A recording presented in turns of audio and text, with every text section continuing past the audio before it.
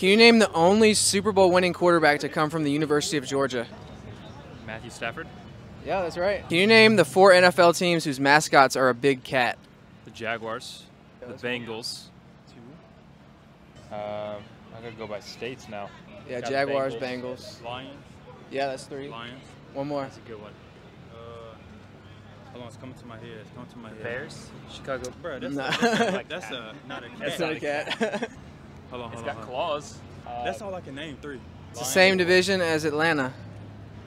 Hold on, hold on. Panthers. Panthers, I'm yeah. From, I'm from North Carolina. I was like, Yeah, that's all four. You guys are right. You know which NFL team has the lowest win percentage of all time? Is it the Jaguars? the Jaguars. It's not. Uh-huh. What you think? You gotta guess? the worst? Dolphins, Let's think of a trash, trash team. the Raiders, Oakland Raiders. That your final answer? Yeah. That's incorrect. The answer was actually the Tampa Bay Bucs. Really?